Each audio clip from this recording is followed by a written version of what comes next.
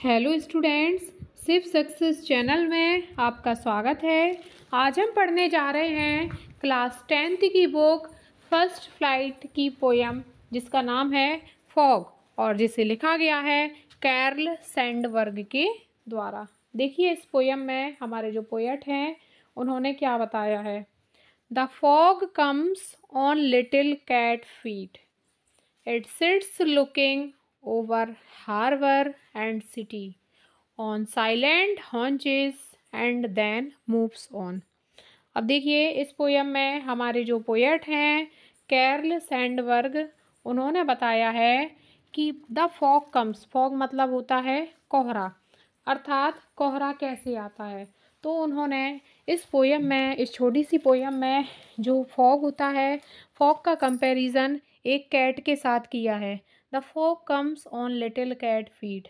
जिस तरीके से एक बिल्ली दबे पैर आती है, उसी तरीके से जो कोहरा है, जो फॉग है, वो भी बिल्ली की तरह आता है।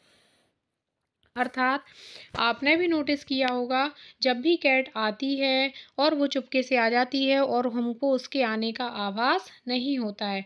जब हम उसको रियल में देख लेते हैं, तभी हमको पता चलता है कि कैट आई है। अन्यथा जब वो आती है तो उसके आने से कोई भी कोई भी साउंड प्रोड्यूस नहीं होता है। इसी तरीके से हमने देखा है ठंडियों के मौसम में जब कोहरा आता है तो जब हम सुबह से उठते हैं तो हमें अपने घर के अंदर उसका कोई भी आवाज़ नहीं होता।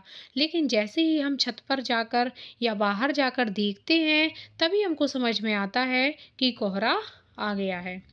It sits looking over harbour and city और ये जो कोहरा होता है, वो समुद्र के ऊपर और शहर के ऊपर छा जाता है।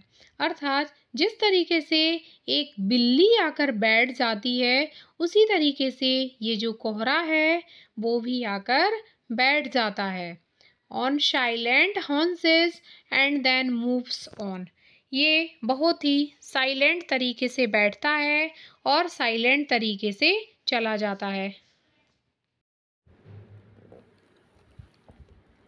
अर्थात इस लेशन में जो पोएट हैं हमारे कैरल सैंडवर्ग उन्होंने बताया है कि जो कोहरा है, उसका जो आने का तरीका होता है, वो एक बिल्ली की तरह ही होता है। क्योंकि जब बिल्ली हमारे घर में अंदर एंटर होती है तो हमें पता नहीं चलता है।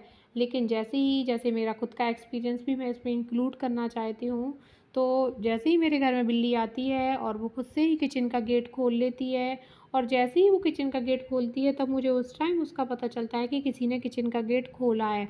अन्यथा वो ऊपर से एंटर हो जाती है और किसी को कानों कान हवा भी नहीं लगती है। इसी तरीके से जो कोहरा होता है, वो भी साइलेंटली तरीके से आ जाता है और साइलेंटली तरीके से चला जाता है। इसी तरीके से जो एक कैट होती है, वो भी साइलेंट तरीके से आती है और साइलेंट तरीके से चली जाती है। तो ये बहुत ही सुंदर एक छोटी सी पोयम है और इस पूरी पोयम में फॉग और कैट का कंपैरिजन किया गया है। इसके क्वेश्चन आंसर देखने के लिए आप जो मेरी नीचे सब्सक्रिप्शन लिंक दी गई है, उसमें आप देख सकते हैं।